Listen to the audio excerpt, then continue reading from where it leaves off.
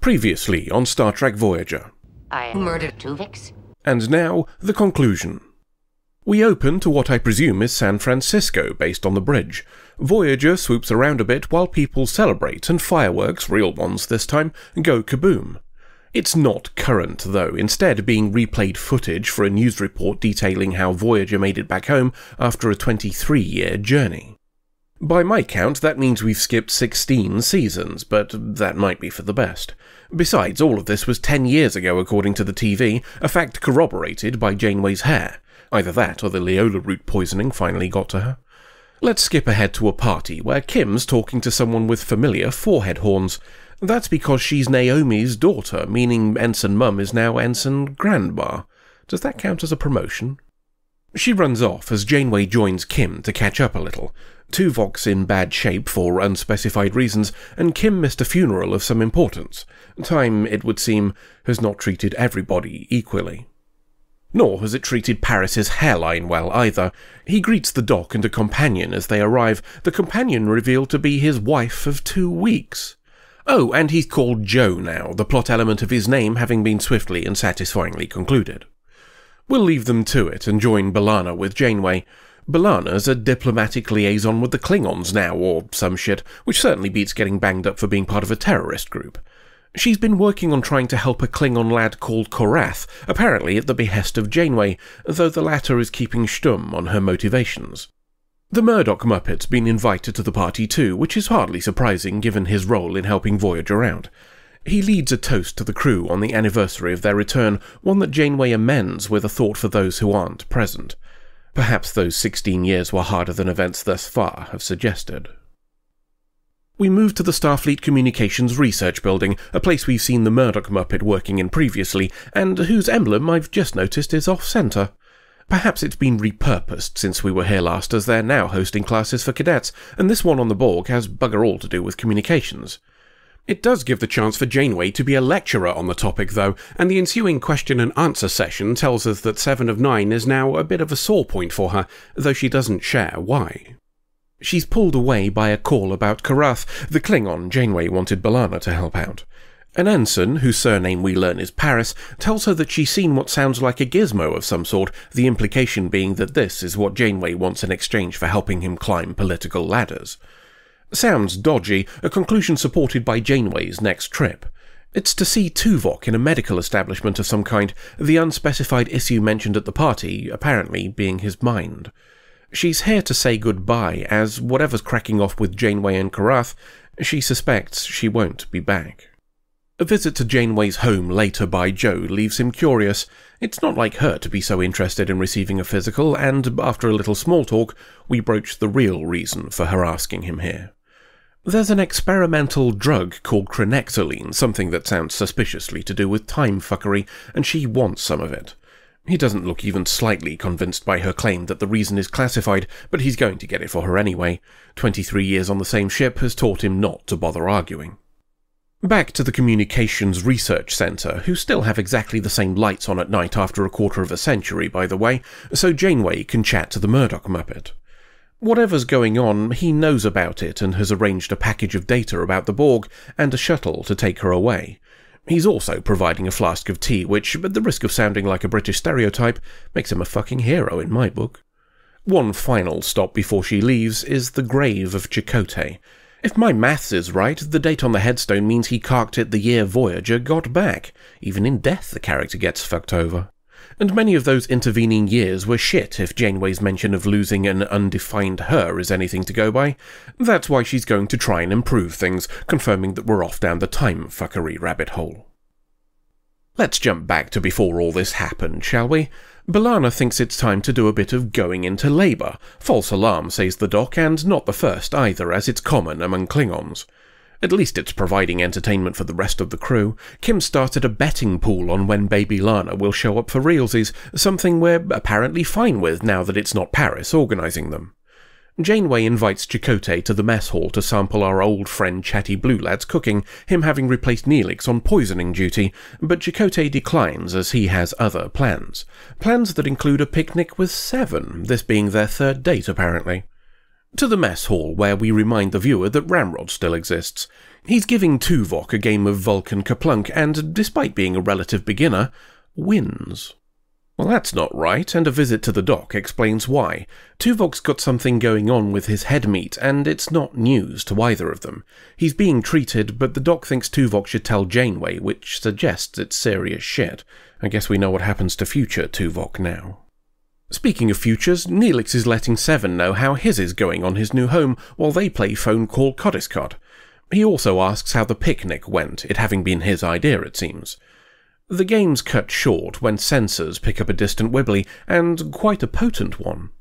We all have a chat about it up on the bridge and learn that it's multiple wibblies in some space fog. Kim thinks the wibblies might be Swirly's wormhole specifically, potentially making this a sort of transport nexus with multiple destinations.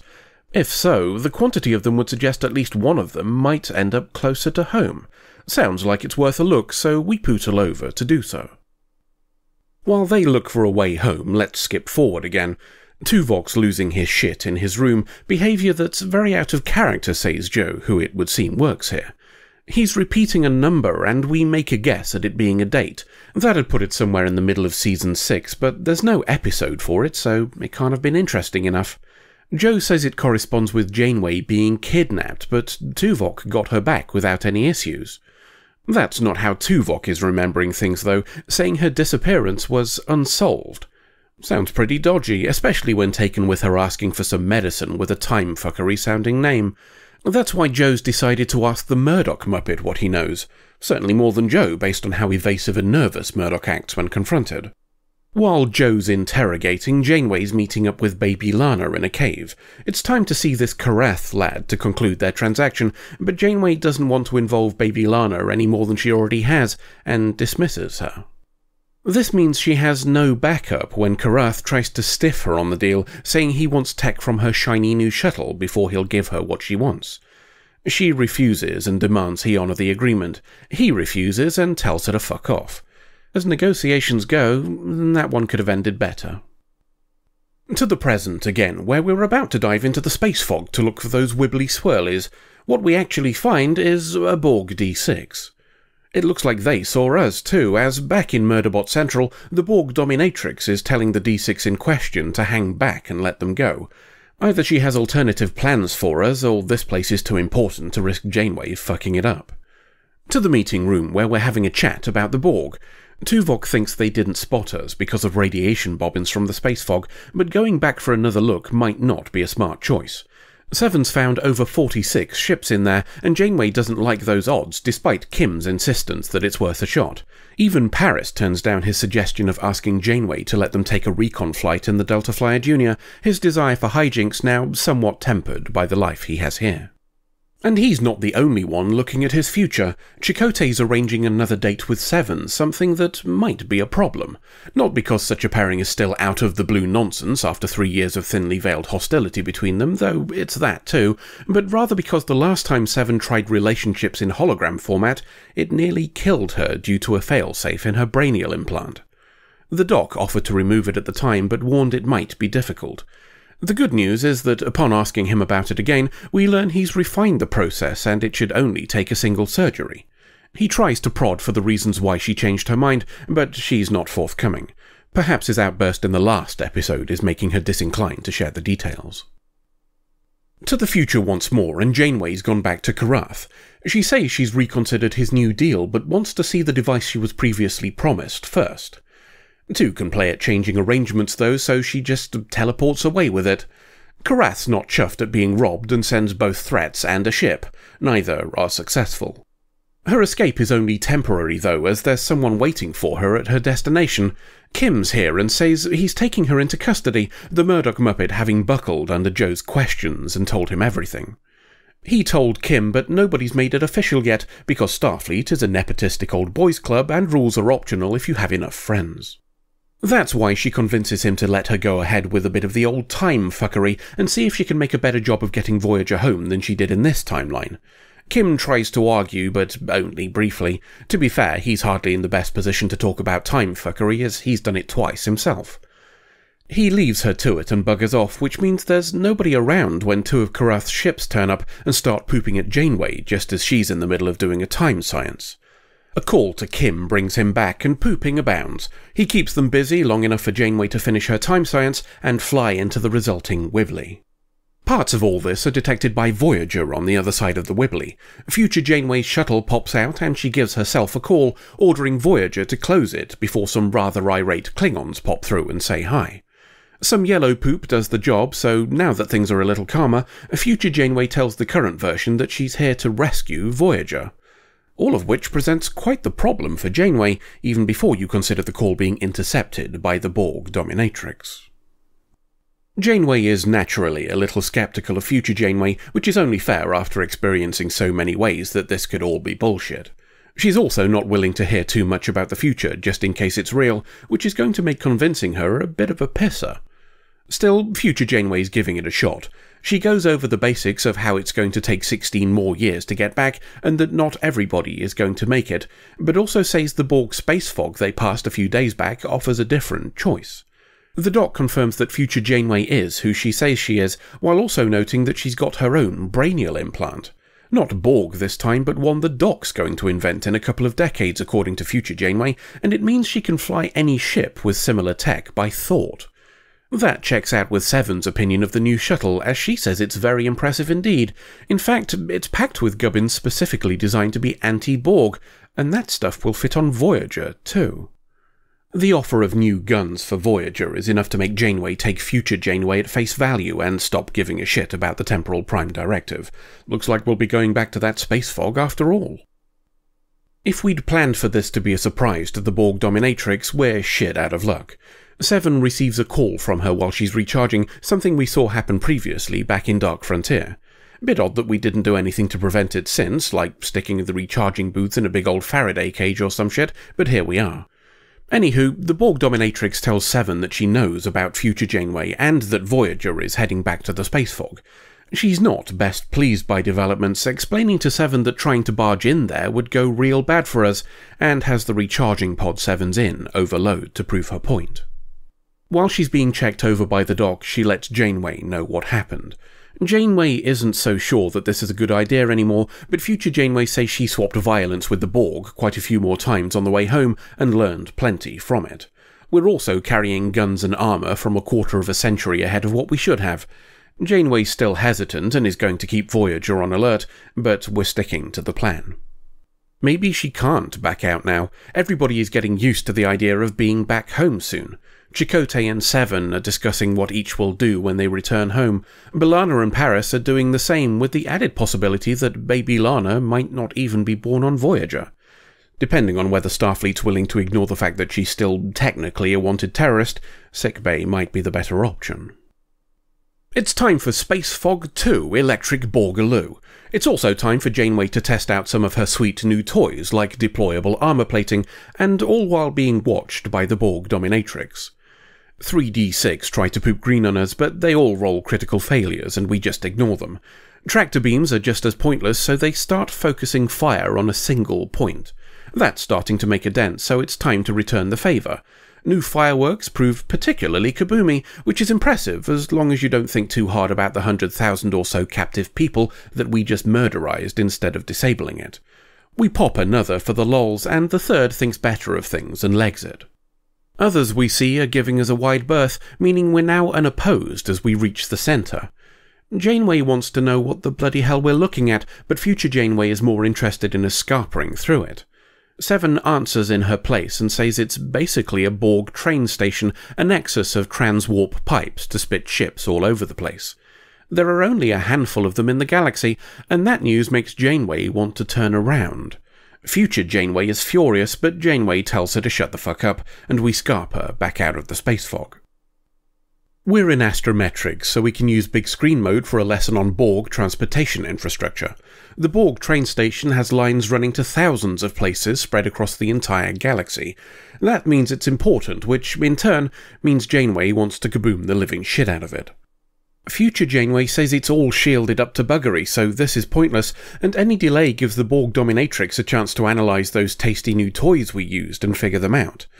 Janeway's not passing up a chance to piss off the Borg, though, and she leaves the others to find out how while she takes a walk with herself. This, we discover, is precisely why future Janeway didn't tell her earlier self what was in the space fog, because she knew that past her would want to fuck shit up. And that's something she can't afford. This way home is the best chance for everybody to make it. In future Janeway's timeline, Seven does a dead a few years from now, presumably killed by something that her minibot resurrection can't fix. And her then husband, Chakotay, gets very sad as a result. Then there's Tuvok, who gets bad brain syndrome. He can be cured in the Alpha Quadrant, but we don't make it back in time to fix him. Future Janeway also mentions something about 20 other people dying or some bollocks, but they don't have names, so fuck 'em.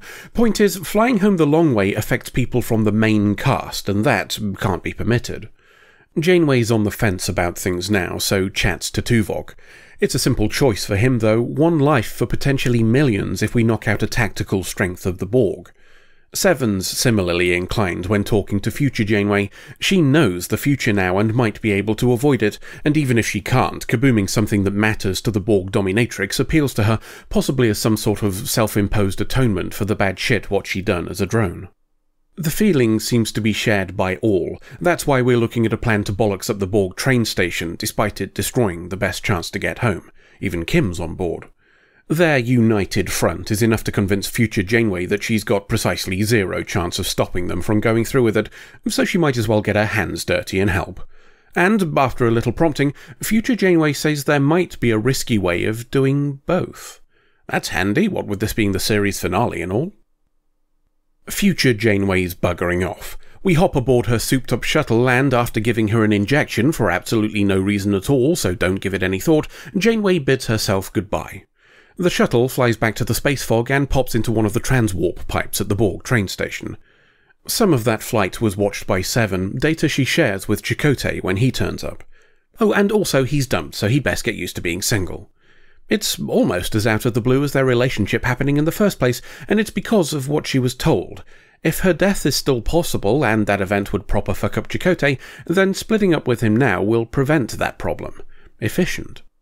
Chakotay's counter-arguments are a touch forceful, and we could probably have a discussion about the line, if you think I'm going to let you end this, um, but they're in quite a stressful situation even without the potential for imminent Borg death, so we'll give him a pass. It seems to work, anyway. Things are coming to a head in sickbay too, though I suppose the more appropriate term would be crowning. B'Elanna's going into labour, and this one's for realsies. Bit awkward under the circumstances, given they're about to go back into the space fog, but at least that gives her a genuine excuse to get rid of Paris so he can go and do pilot things. Voyager's change of course is relayed to the Borg dominatrix by some of her lads. That's not the only voice she hears, though, as future Janeway is here to have a chat. Not really, of course. This is just a projection using the brainial interface she had implanted by the doc, the one that lets her fly ships with her head meat. As to why she's here, well, she's a diplomat. She's here to come to an agreement. Janeway thinks future Janeway's here to help bugger up the Borg train station, but she instead says she's not happy with those odds. And neither should the Borg dominatrix. Even if it fails, Janeway's going to do a shitload of damage with those new toys. So why go to all that hassle? If the Borg dominatrix agrees to grab Voyager and stick it through a transwarp pipe back home before Janeway knows what's happening, future Janeway will share how to stop all those tasty weapons. Sounds like bullshit to me, which might be why the Borg dominatrix tries to negotiate some additional benefits, like that shiny new shuttle. Not because she's seriously considering the offer, but rather to give her drones time to track the signal and find future Janeway. She's made it easy too, parked right in front of Murderbot Central itself, where the Dominatrix lives, and future Janeway is teleported in front of her. Bit odd that she's here, but maybe she planned to attack. Still, there's no need for interrogation when you can just absorb someone's brain. It's the perfect victory, future Janeway being slurped into the collective at her feet, and now Voyager popping into a transwarp pipe where some ships can be sent to kaboom it. Rather a shame for her then when that perfect victory turns into utter dogshit. You see, the Borg dominatrix neglected to update her antivirus software, and that's going to be a problem, what with the anti-Borg juice currently flowing in future Janeway's veins, the same juice now seeping into the collective. Things start to kaboom around her, which is just what Voyager was waiting for, as that's how they're lowering the shields on the Borg train station. We fart out some fireworks and kaboom bits of track, all watched by the dominatrix. She's a bit busy though, what with tearing off parts of her body that have stopped working, but she does still have time to send a battle bollock after Voyager, one of the few things she can still contact. And she's able to tell them about the new toys Voyager has, which is going to make the ensuing battle significantly more difficult for us. We're still having a better time of it than her, though. A leg falling off makes her somewhat less regal, and the whole place exploding makes her somewhat less alive, likely along with several billion just freed Borg. Whoops. Back on Earth, they've detected a Wibbly. That's usually our job, but at least the people finding it are connected with us, namely Bad Admiral Paris and the Murdoch Muppet. A Borg transwarp pipe opening up about a light year from Earth is clearly not a desired outcome, so Bad Admiral sends over everything we've got to get ready for some pooping. Probably just as well, things are getting terribly kaboomy on our side. The whole Borg train station just started detonating, and that tactical testicle is giving Voyager some issues. Kabooming is the least of our problems when it opens up a metal anus on the front of the ship and flies towards us. The battle bollock pops out of the transwarp pipe and is met by a not insignificant amount of ships intent on telling it to get fucked. Much pooping ensues, but doesn't appear to do much. Voyager's fireworks, on the other hand, make a significant mess of it, but that's to be expected when we were inside. Bit of a strategic blunder on the part of the Borg, but I suppose that's to be expected when their entire civilization just got shat on. Bad Admiral Paris orders a cease pooping when he sees the battle bollock exploding of its own free will, the final kaboom of which farts out a perfectly fine Voyager. Bad Admiral Paris calls to find out what just happened, but Janeway tells him to shut the fuck up and wait for her report. Besides, we're busy, what with the new baby and all. Paris is sent down to sickbay to meet his new daughter, and Chakotay takes over at the steering wheel as we fly home. Well then, People who've been around these parts before will probably know that I have two bugbears for Voyager episodes time fuckery and the Borg. Time travel, as I've posited previously, works one of two ways badly or Doctor Who. Either you spend ages explaining the minutiae of temporal mechanics and how things link in, or you say bollocks to the lot of it and just get on with things. When future Janeway didn't bother to explain why she was still around even a second after her past self clapped eyes on her, derailing that timeline entirely, at that point we chose the Doctor Who path. Now that's fine. It's better than fine, actually. It's the preferred option. I don't want to listen to a causality loop being explained for the hundredth time. I want to see a Silurian private detective and her wife in Victorian London, accompanied by their Sontaran butler. Who the fuck would rather hear about stuff like the butterfly effect than that?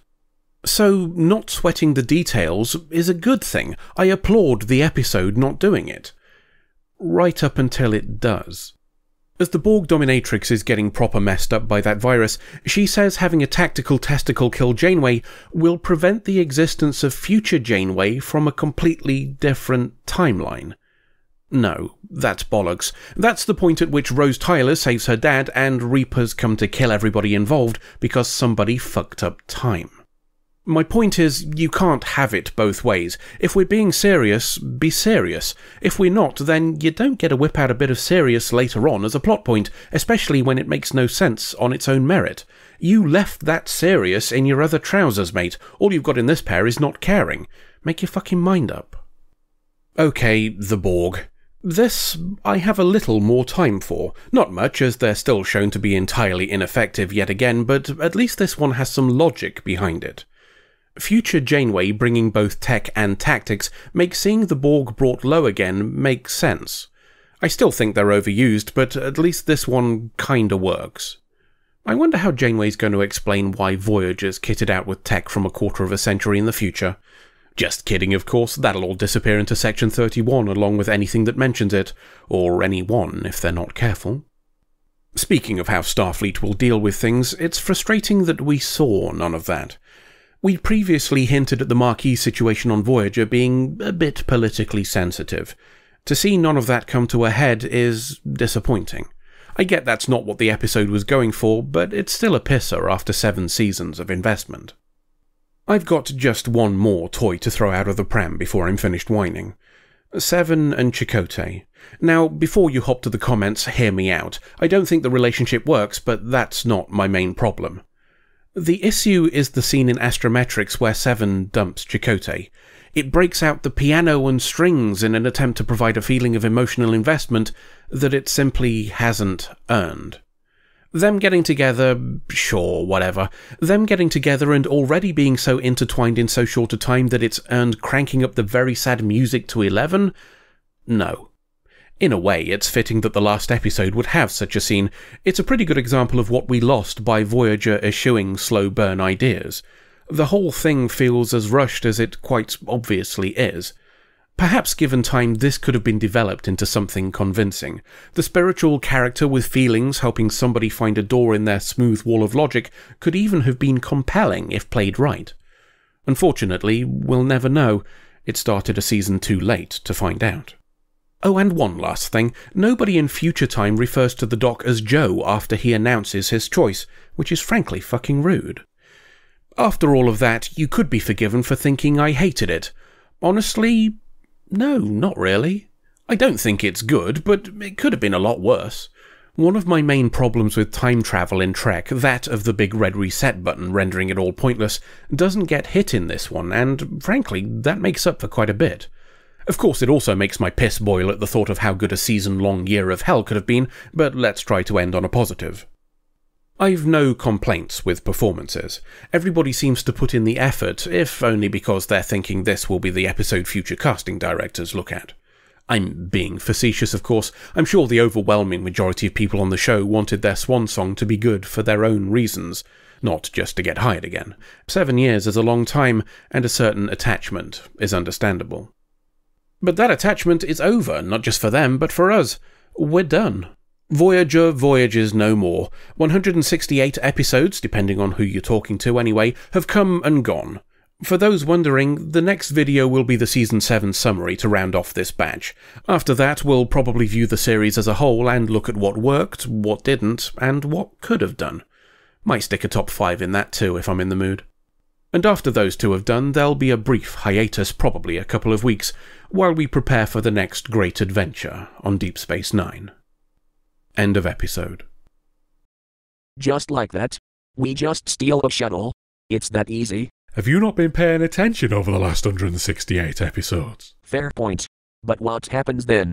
We've got the same problem as if Voyager docked at Deep Space Nine. Prophet's cock ring. Whatever. It doesn't matter. What matters is that as soon as this touches the station, it'll stop existing, and we'll get vented into space. Ah, well, you see, I've been thinking about that. Those pylons that ships dock with, they're just for the big lads. The small stuff has docking bays. Really? Well, landing pads. You land on them, then get lowered inside. Well, that's the same problem. Not if we get 'em to lower it first. Then we're flying through the force field and land on the deck. Shuttle disappears, we fall onto the floor. Remind me why we're not just teleporting again? Because the last one took your bloody face off. That's funny and all, but I don't want it happening to me. Well, here goes then. Woof.